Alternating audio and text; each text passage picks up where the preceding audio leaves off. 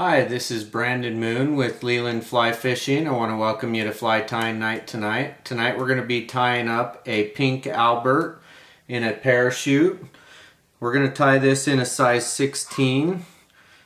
Also perfect in a size 14, 18, and sometimes 20. With that, I want to make sure and invite you to like our video, leave us a comment if you've gotten any value out of this video or any of our others. It helps us out a great deal and we appreciate it a, a lot as we work to create good content and put it out in the community. So I'm going to start my thread which is Semperfli's Classic Wax 12 aught and this is just the shell pink thread and I'm going to start that roughly about three quarters of the way up this hook shank. The hook I'm using is the Moonlit Premium Tagata ML102. Again, a size 16 is a great size. Also tied in a size 14, 16s, 18s, and 20s. I'm going to take some pink poly yarn and I've split this. This is a Semperfli poly yarn, so I split it in half. And that's going to give me my post. And I want this to be right at that three quarter point.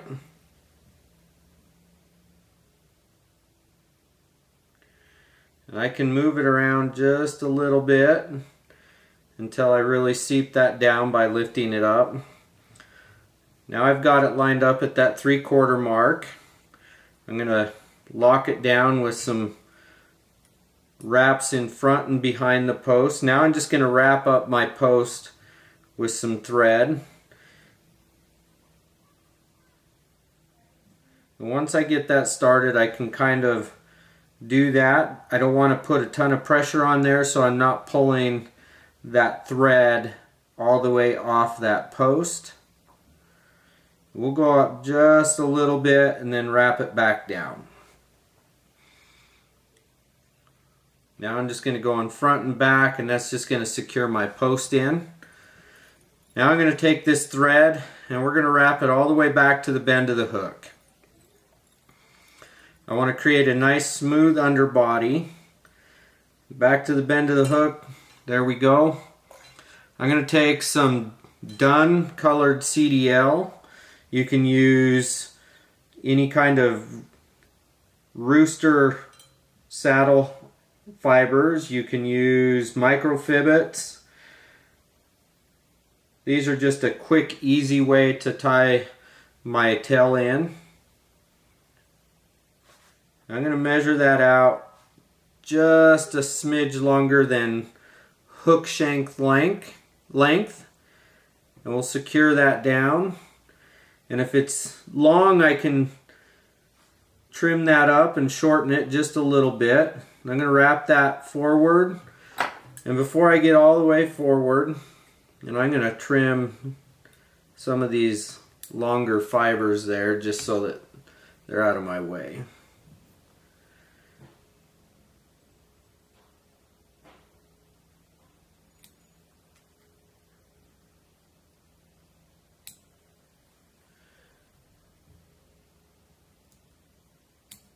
Go. Now I'm going to lock that all the way down and go back to my starting point. Just before I get there, I'm going to take two wraps underneath that tail just to help prop it up just a little bit. For the body on this, we're using the pink Albert colored wild barred turkey biots from Magpie, the premium. I'm just going to make sure it's nice and moist. Okay, there's a ridge side on this and there's a non-ridge side. I'm going to have that curvature of this biot facing towards me with the ridge side down and I'm just going to taper that to where it's going to secure down the tip all the way up into the body. This is going to allow me to not have to trim that out or anything. Now I'm going to create a little bit of a taper with this. I'm going to make sure I've got that all the way back to the back side of this body here. I'm going to create a taper with about four back and forth wraps. Not a huge fly. I want a fairly slim profile, which is why I'm using 12-aught. But I do not want a non-tapered body to this fly profile because the natural insect does have a nice taper to it. So now I've got that. I'm just going to half hitch there right in front of my post. I'm going to take my hackle pliers and we're going to wrap this hackle. You could put some um, super glue down on that thread to help bite down and secure this biot. I don't generally do that personally, but it does work great. I've just gotten used to not doing it. I'm going to wrap that basically all the way up into that post. And then I'm going to secure that down. Two wraps. Now I'm going to do a wrap in front just to help secure that off nice and good. Now I can take and move that back so I can see it better. Trim that out. I'm going to bite that biot down just a little bit more. Now we're ready to tie in our hackle. For the hackle, I'm using just like a golden badger variant type that I really enjoy.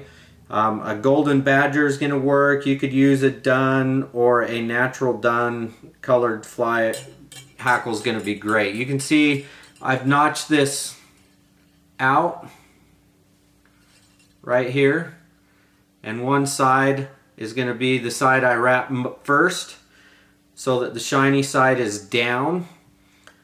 And I'm going to tie and secure this fiber stem, this hackle stem in get it kind of standing up on that post. We'll wrap it up the post, secure it down.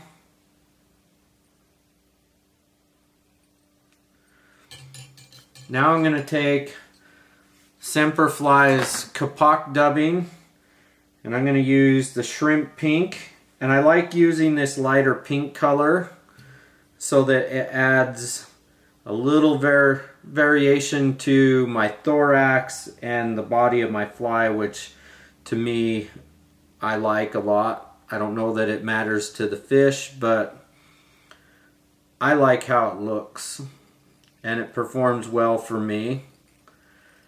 So I'm just going to create my thorax here. And I don't want a huge thorax, just a nice thorax there. Now I'm going to take and wrap that and I have that bare stem to give me a nice good wrap as I start. And I'm going to give this three wraps. And I have the shiny side down because I want the fibers to be facing upwards. Helps me keep a nice cleaner fly. To finish this, and just like all our other parachutes that we tie, I'm going to put a little bit of this Loctite super glue on my thread. Awesome stuff.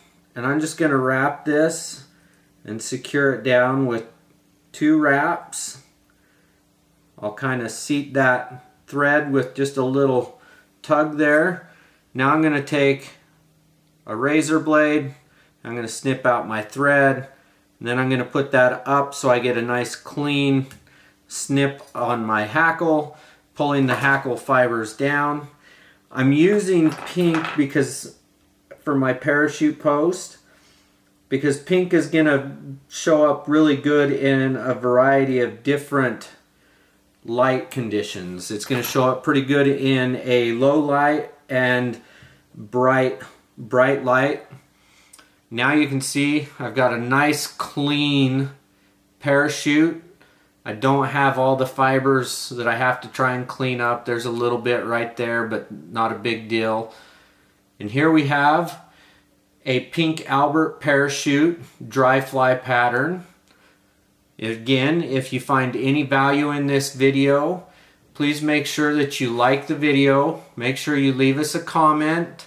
Make sure you subscribe and hit the bell to receive future notification. This helps us out a great deal as we work hard to create good content for the community and we appreciate your support and look forward to seeing you next week. Have a good day.